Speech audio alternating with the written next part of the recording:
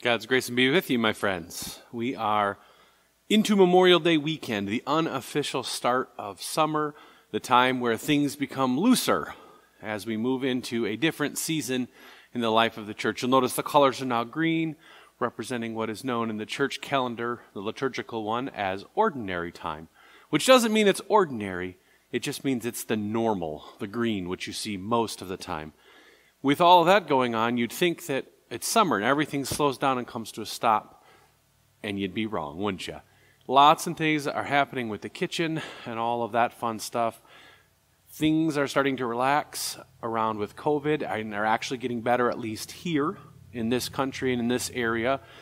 And so we look forward to new ways to regather as we once did. Memorial Day is one of those things where many of us will gather with friends and family and while it often gets overshadowed with barbecues and, ba- I mean, fryouts, excuse me, and backyard picnics and the things, the reason Memorial Day exists comes from a long standing practice way back when, back starting at the Civil War going on forward, but was not actually made a holiday until 1971. But I had the pleasure and the honor of doing a service once in a national cemetery uh, for a soldier who was many, many years my senior and I remember sitting with him long ago when I was very young and very fresh out of seminary. And he always had this poem that he kept in his breast pocket. And it was the poem in Flanders Field. So I'd like to share that with you just as a slight remembrance. And then uh, I learned something new this year. A woman who had read that poem meant much to her teacher then wrote a response to that poem. So I'll share that with you. So this is In Flanders Field by John McCrae. In Flanders fields the poppies blow, between the crosses, row on row, that mark our place, and in the sky the larks still bravely singing fly, scarce heard amid the guns below. We are the dead short days ago. We lived, felt dawn and sunset glow, loved and were loved, and now we lie in Flanders fields. To take up our quarrel with the foe, to take you, to you from failing hands we throw, the torch be yours to hold it high, if ye break faith with us who die. We shall not sleep, though poppies grow in Flanders field. She heard this poem, Myra Michael, Mona, Moina Michael, and she wrote a response to say that we have not forgotten those sacrifices. O you who slept in Flanders field, sweet sleep to rise anew, we caught the torch you threw, and holding high, we keep the faith with all who died. We cherish too the poppy red that glow, grows on fields where valor led. It seems to signal to the skies that blood of heroes never dies, but lends a luster to the red of the flower that blooms above the dead in Flanders fields. And now the torch and poppy red we wear in honor of our dead. Fear not that ye have died for naught. We'll teach the lesson that ye wrought in Flanders field. So, as you celebrate the start of summer, as you celebrate time with family and friends, as you celebrate normalcy starting to come back, don't forget all that has come before. Take a moment and give thanks for those who are willing to sacrifice their lives for us and celebrate all of that good news. Let's worship together.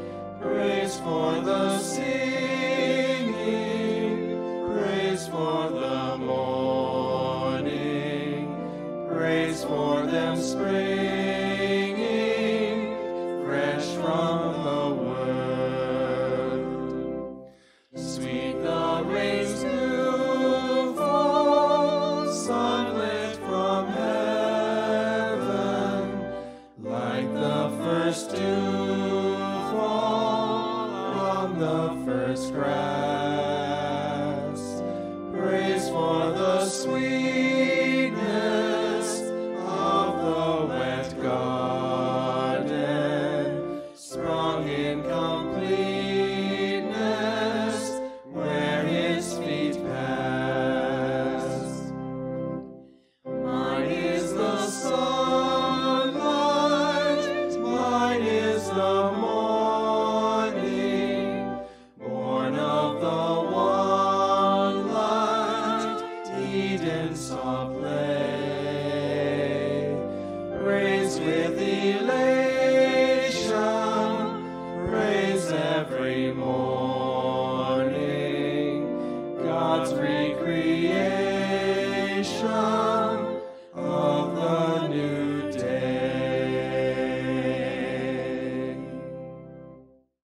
Join me in this morning's prayer. We gather in the presence of a loving God who rejoices in the righteousness of God's people, who stands firm in the midst of suffering and torment, who holds the power to relieve suffering, who hears us even when we do not hear, and sees us even when we do not see. Our God brings light and life to all who follow in God's ways, recognizing your righteousness within us and make us your own. Amen.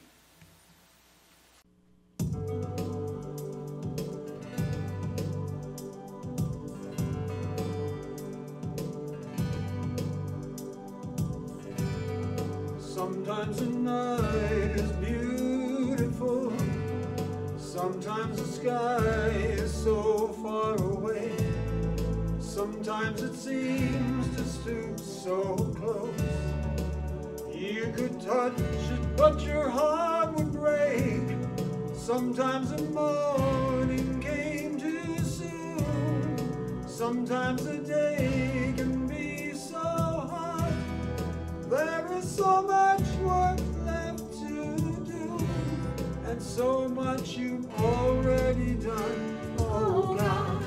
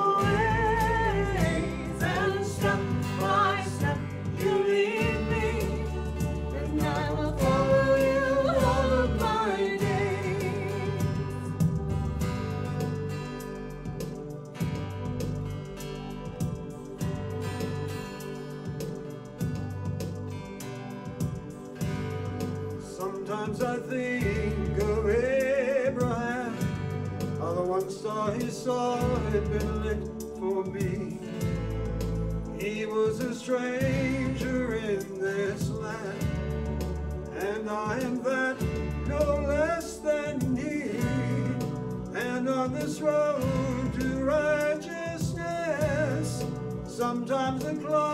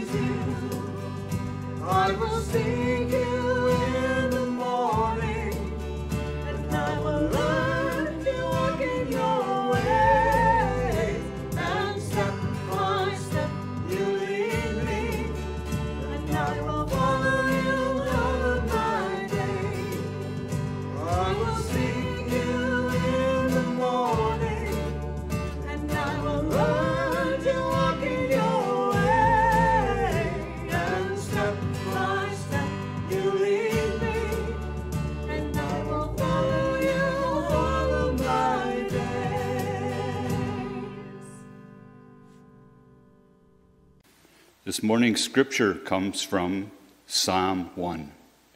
Happy are those who do not follow the advice of the wicked, or take the path that sinners tread, or sit in the seat of scoffers, but their delight is in the law of the Lord, and on God's law they meditate day and night.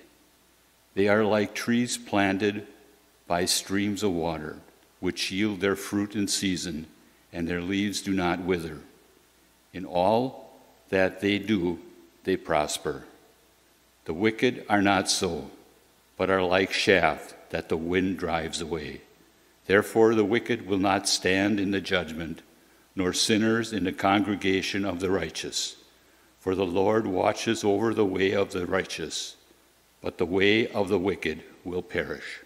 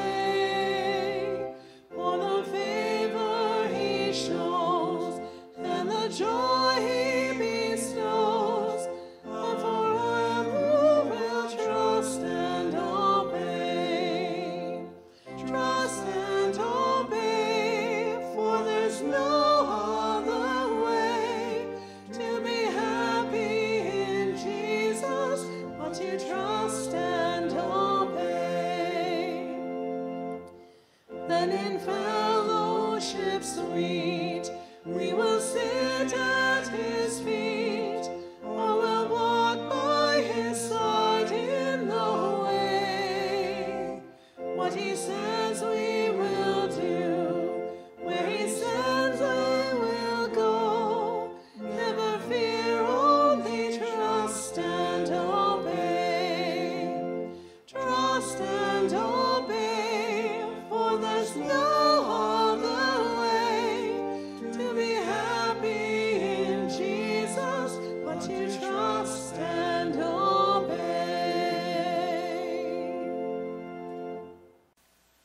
So, friends, today being the unofficial start of summer, the end of the school year, the end of Pentecost, where we celebrated the birth of the church, we move into more of a summer feel, and so we're going to do a series about the Psalms. And some of you may say, well, haven't we done that before? And I'll say, there's 150 of them, so we got some work to do. Today we're going to start, though, with just a little introduction to the Psalms for those of you who have forgotten or need a reminder or didn't go to seminary. So, the word Psalms literally means either song or song of praise or prayers. Um, there's a reason we sing them. There's a reason we use them for prayers and things because that's what they were intended to do. We often tell people, "Oh, David wrote all of the Psalms." Right? We have that really beautiful image of him playing his lyre, little harp, out in the fields as he's a shepherd and singing to God, and it's a lovely image, but it's not true um, at all. David is ascribed all the Psalms to him, much like King James is to the King James Bible, which many of you have grown up with. Whereas King James didn't write any of the Bible, he just paid people to do it. All these songs, these prayers, these pieces of praise were collected and shared as a gift from the king in this idea. Did David write some? It's quite possible he did. It's also possible he just collected them. Either way, it doesn't change what they are. The Psalms in general are human words to reflect the people who wrote them, the time, their understanding, their relationship, their relations to God, to the, the world, to creation, and to each other. In other words, they're just kind of the everyday understanding of what is in the world, just in poetry slash song slash prayer form.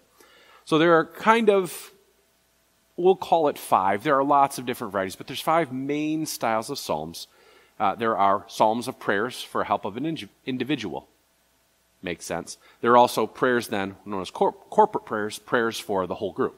Okay, there's two different kinds. There's a prayer of thanksgiving for an individual and also the corporate group. There's what is known as the hymn or praise, which are just sheer moments of praise. And then there's psalms that are instructive, that give you examples of how, of what, etc. So this is kind of all the psalms. There are 150 in ours. There is actually a 151st psalm in the Apocrypha, which is the book, a section of the Bible that Catholics and Orthodox use. And if you go to seminary, you have to learn about it too, because it's kind of important. Uh, the Protestant church in general doesn't use it, but there is 151. We do 150. But we're going to start, fittingly, with Psalm 1. As you've heard it read already, I want to highlight a few key pieces before we talk a little bit more about some of the parts of it. But in general, when you hear in the Psalms this contrast between wicked and righteous, it doesn't mean that the wicked are these morally reprehensible monsters and the righteous have halos over their heads. It was a way to say there are those who are righteous, which is in right relationship with God, and those who are wicked, who are those without right relationship to God. Does it mean the wicked are cut off forever, as some of the Psalms say? No. What it means is that we should all be striving for the righteousness, that right relationship. And the wicked are those who ignore the Word of God and try not to do as we are called to do. So, just to be clear, it's not a moral designation. It's just saying these are folks who don't know or choose not to, and they're not awful monsters. They're just not part of those who follow the right relationship with God. So, just to be clear on that. So, Psalm 1 then begins Happy are those who do not follow the advice of the wicked, or take the path that sinners tread, or sit in the seat of scoffers, but their delight is in the law of the Lord, and on his law they meditate all day and night. It's an invitation. It's a good invitation at the beginning of the Psalms to say, You're welcome to step into this book, into this collection of songs and poems and prayers, not for necessarily like a guidebook, you need to do step A, B, C, D, but different ways and understandings to use, to read, to embody the Psalms. It's like an introduction in most books that say, here's what we're going to tell you, and this is how you go about doing it and it goes through and it talks about the law. So, a clarification on the law. When we hear that word, we tend to think of something that's set down, and if you don't do it, there's someone here to arrest you. You broke the law. Well, the law in this case means the Torah, which really translates best to teachings. So it's the teachings, the first five books Genesis, Exodus, Leviticus, Numbers, and Deuteronomy. It's also known as the Pentateuch, which is just Greek for five books. You figure that one out. All of this is happening in this idea that in this law, in these teachings, are found all of the ways to live in right relationship with God. Now, I won't sugarcoat this. There are what's known as mitzvahs, which are the actual instructions, uh, and there, or the laws, if you will. There are 613 of them in the Hebrew Bible. Obviously, it gets a little convoluted and some contradict each other, not surprisingly, and it gets a little difficult to follow. But take all that into account and recognize that the Psalms are inviting us in to start learning those, to take those teachings to heart to lead a better life. So we're going to get to this, and it says, Their delight is in the law of the Lord. So their delight comes in learning the teachings and learning God's ways. The joy comes in Torah because God's wisdom is contained and it sets a path for us to follow in that both wisdom and desire to form that right relationship. And in the same way, it says that those who are grounded or planted in God's teachings, the law of love, are free because of that grounding, because of that planting. And so there's a blessedness, a delightfulness, a happiness in having a structure in which to live one's life. So I want to take a little thing. If you are online watching this, you can download this from the page, a little graphic. Uh, you won't see it well here, but I'll put it up so you can read it as well. But there's a way I like to look at this piece that starts in this next part of Psalm 1. They are like trees planted by streams of water, which yield their fruit in season. So I want you to think of the image of a tree. There are three basic parts to a tree, and I know you're going to say, oh, there's leaves and branches. No, no. In the tree world, you have roots at the bottom, you have the trunk, and you have what's known as the crown. So the roots, I hope, are self explanatory. The trunk, also pretty self explanatory. The crown is the big leafy piece leaves, sticks, branches, limbs, whatever you want to call it, fruit, flowers, all that kind of stuff. That's in the crown. A tree cannot live without all three. If one part of that is dead, the whole tree goes down. But I want you to think about it as we kind of look through this. And if you want to look and follow this or pop it up in another browser, however you want to do it, or just listen, your choice. The idea is specifically that there are these laws, these rules that are put forth not just in the first psalm, but through the scriptures that tell us how to live. And while I could give you all 613 and we'd be here for about two days as I read them all to you, uh, I kind of distilled it into some of the most important pieces that I've experienced, that I see, and that I see reflected in our own congregation and in the world. So, starting out with the roots, the root structure, the thing that holds the tree in place, that keeps it grounded and starts the whole process out. There are a couple pieces that are so important. We read this both in the Hebrew Bible and also, of course, in the words of Jesus in the Gospels. Love the Lord your God with all your heart, your mind, your soul, and your strength. And Jesus adds to it, and love your neighbor as yourself. If you can't love God and you can't love yourself, you can't love your neighbor, you need to be able to be infused with that love. It is the bearing, the ground, the thing that holds you in place above all others. Whatever you do to the least of these, you do to me. In Matthew 25, Jesus tells all the listeners, all the would be followers, that those who are the least by the world's standards are important to him. And when you abuse or ignore someone who is the least, you ignore him and his teachings. And in the same way, in Micah, we read, What does the Lord require of you, O mortal? To do justice, love kindness, and walk humbly with God. This idea that justice and kindness and humility are essential attributes of those who would be in right relationship with God. So from the roots, then you go into the trunk. And the trunk is that big stable piece, right? You got to have a trunk to have a crown. It'd look kind of silly if it was that. It'd just be a bush in that case. And we're talking about trees. There's one passage that has always stuck with me more so than anything else in the Gospels, and it comes in the Gospel of John in the 15th chapter, and it says, No one has greater love than this, than to lay down one's life for one's friends. The trunk, the thing that holds us steady, is that we do not live for ourselves.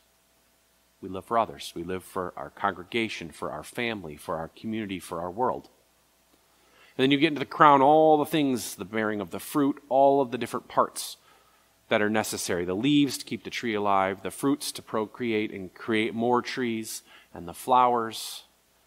It's important stuff. It provides homes and shade and all these delightful things.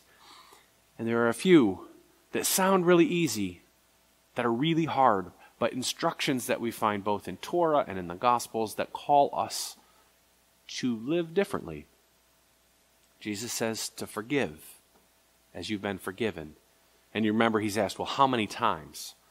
And he said, seven. No, seven times seven. In other words, you keep forgiving because you are a forgiven people, hence your job is to forgive. Jesus and the Hebrew Bible tell us repeatedly that we are called to care for the widow, the orphan, and the stranger in our land, to take care of those who get forgotten so easily and we're called to love our enemies and bless those who persecute us. Not easy. But when we start to listen and follow, to live into that right relationship, we too, if you can see this image of the tree, are planted firmly. We're watered, we're fed, we grow, we bear fruit. And our fruit then helps others grow and bear fruit in the kingdom of God. So, as you begin summer, as we begin thinking about the Psalms as we move forward, as the trees are in their full bloom and assaulting me with their pollen, among other things, I want you to think deeply of how you are rooted. What are those roots of your faith that keep you going, that keep you grounded so you might live your best life in love for the risen Christ? Amen.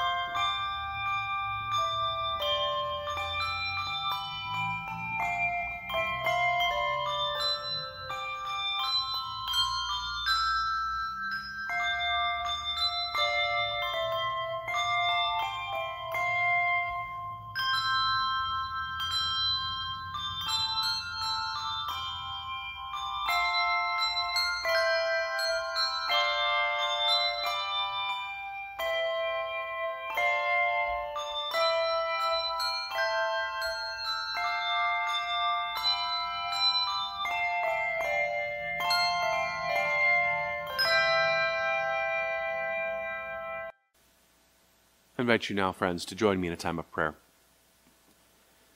God, we give you thanks that we may be gathered as your people, scattered in person, on computers, far away traveling.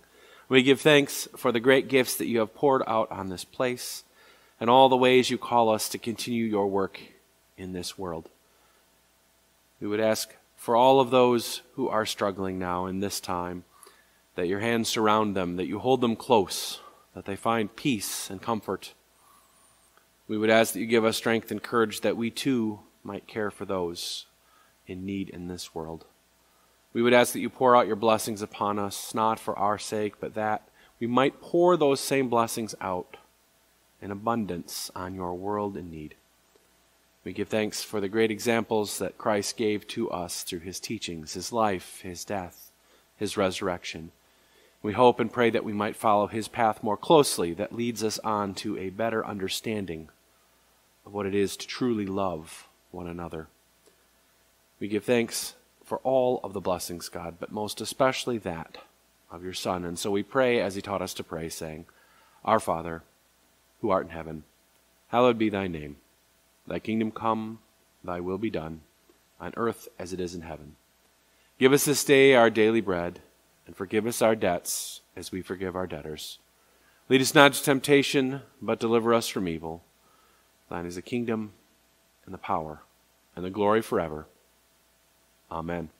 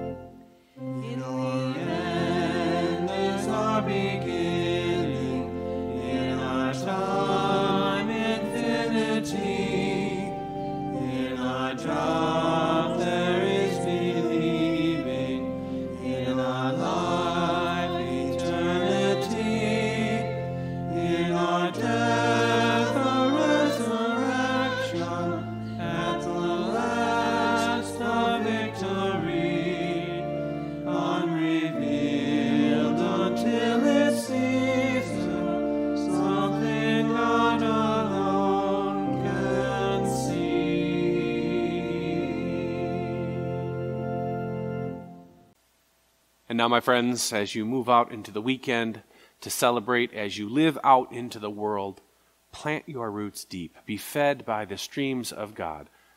Bear fruit. Grow shade. Be a place of refuge for all who need it. Go in peace. Serve the Lord. Amen.